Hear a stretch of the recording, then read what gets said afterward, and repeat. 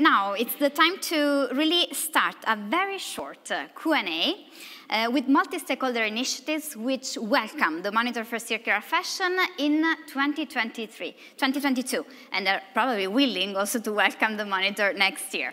So let me welcome now uh, in presence uh, Valeria Mangani, President, Sustainable Fashion Innovation Society, and we had the chance to meet uh, the last time in Rome, actually, uh, for your wonderful event. Um, can you tell us more what um, Sustainable Fashion Innovation Society is and how you involve the For Circular Fashion companies? Thank you, Francesca Romana. This is my pleasure to be here. It is very simple and easy. Sustainable Fashion Innovation Society is a center for the production of knowledge on issues related to sustainability. Uh, proposing itself as a privileged interlocutor uh, to the public administration, the government, institutions, dedicated finance, and various players operating in the linked market.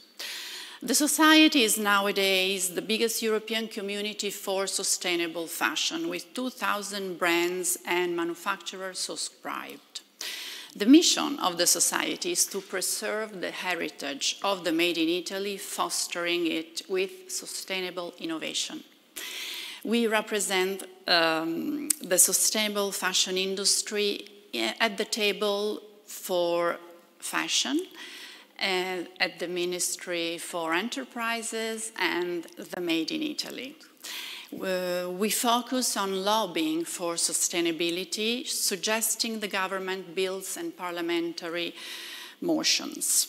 Since 2019, the Society annually gives life to the Phygital Sustainability Expo, where we had the pleasure to host Bocconi, and the Monitor for Circular Fashion, of course. And the Expo is the first, first event in Italy exclusively dedicated to sustainability and innovation in fashion and design industry. The format was defined by Harper's Bazaar as one of the three most relevant internationally speaking, where fashion meets technology, science, and innovation. You surely can't miss why we partner with the Monitor for Circular Fashion, of course. The Society is a digital platform all year long, engaging our community with several activities. Uh, during the Phygital Expo, we become physical. That's why the name Phygital.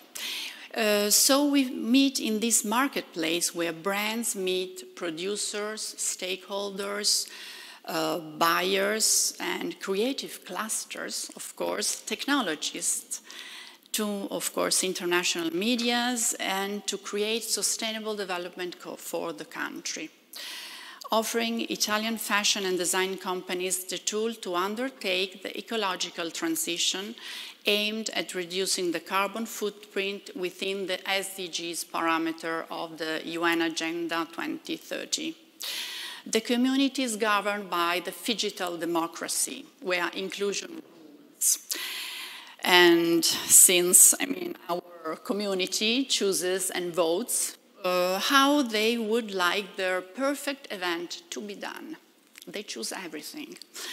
So this is very new as a format, and the program is scheduled for two days, unfolds through six main sections that make the Phygital Sustainability Expo a unique event in the world of fashion.